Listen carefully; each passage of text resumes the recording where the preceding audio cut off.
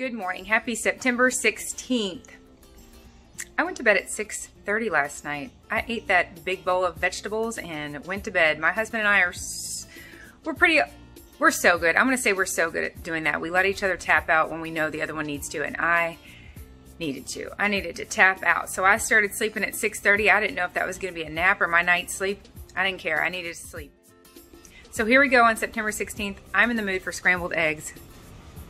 That should be enough. That's 20 eggs. I'm to drink this while I cook and see how much I can get down before I even eat my first bite of breakfast. Also, keep in mind if you are in weight loss mode, if you are in fat burning mode and your body is burning up stored fuel instead of whatever you're chewing and swallowing, that's an exhausting process for your body. And if you feel tired, rest as much as possible. This is why Susan Peirce Thompson says during the weight loss phase, keep your bunny slippers on. I get an email every morning from, from WayFM. And the word on the way today was Philippians 4 8. All things that are excellent and worthy of praise, think of these things. Guys, that takes a conscious effort. And I have um, shared with you all that I've been dealing with some anxiety and just some um, just added stress of our um, our schedule flipping and flopping. And um, it takes a conscious effort to keep our mind focused on things that are excellent and worthy of praise. Let's read this together. I absolutely love this Bible.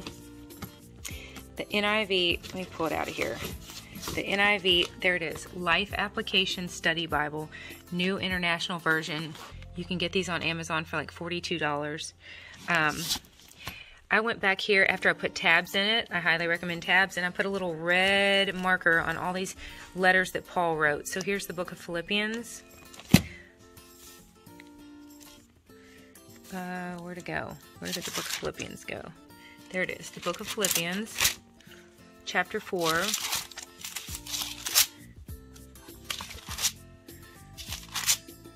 Verses 6 through 8.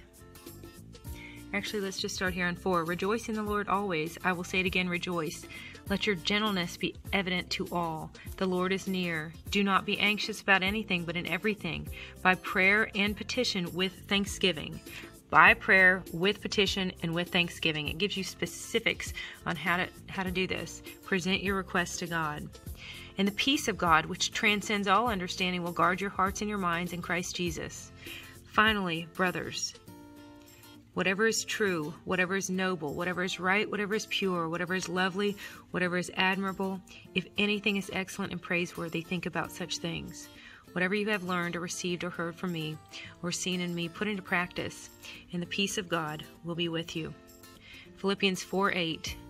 Whatever is true, noble, right, pure, lovely, admirable, if anything is excellent or praiseworthy, think about such things. It takes a conscious effort to keep our mind on such things.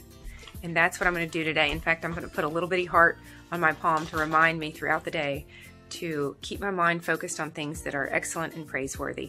In fact, I've got my little Amazing Grace t-shirt on.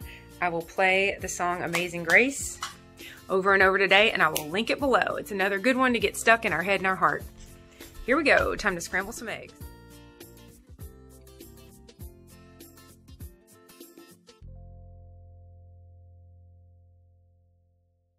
Tomatoes, burnt sausage, cheese, peanuts, and orange.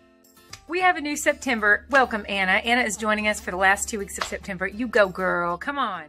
This was five separate times that I thought about snacking or eating my kids' cheesy looking pizza. I'm about to get this quilt. One, two, three, four more.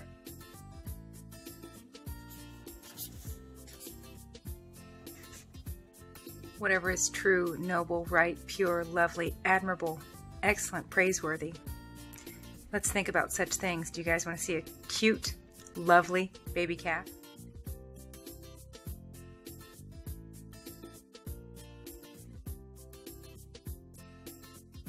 So that's it on September 16th. Thanks again for traveling with me, and I will see you all tomorrow.